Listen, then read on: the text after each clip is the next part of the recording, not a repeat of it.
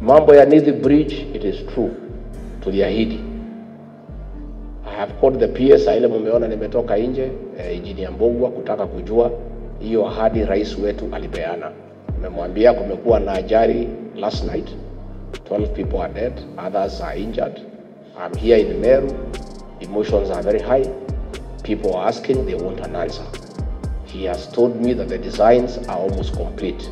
Nimemwambia siharakishwe haraka so that we come and honor that promise to the people of Meru and save lives.